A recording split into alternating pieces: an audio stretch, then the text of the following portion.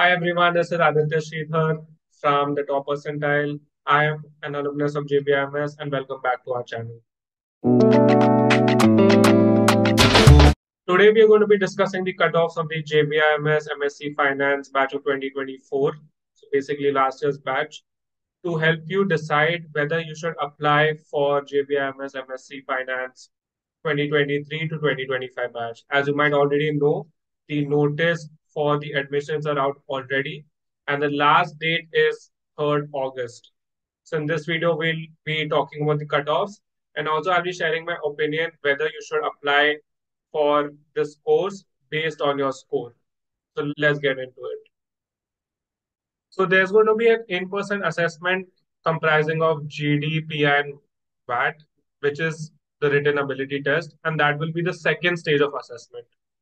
For calling you for the in-person assessment, the factors are going to be your CAT, CET your UPSC score, um, your 10, 12th bachelor's degree marks, your extracurriculars and your work experience, and your diversity.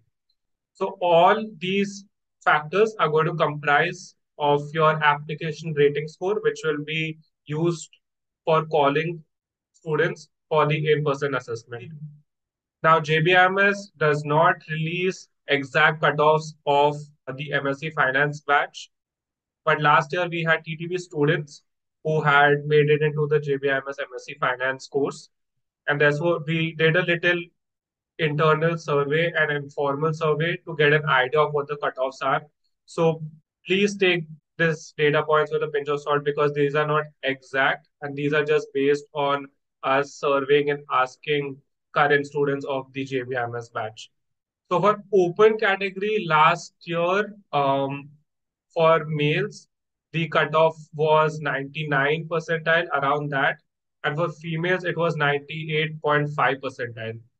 So if you have a 98 plus percentile, a convert is possible with a strong GDPI and written ability test. For uh, the OBC category, the cutoff was around 97.8 percentile. And for students with a 96 plus percentile, you all should consider applying because a convert is possible with a strong profile and, and a good performance in the GDP and, and the written ability test. For uh, SC category and for other categories, the cutoff last year was around 96.7 percentile.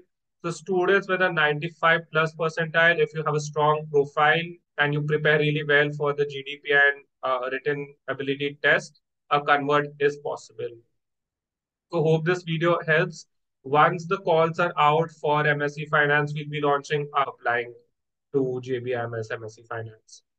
In case you guys have any questions, please feel free to contact our team in the on WhatsApp, uh, the number mentioned in the description below, or you can leave a comment on this video and I'll try my best to answer that.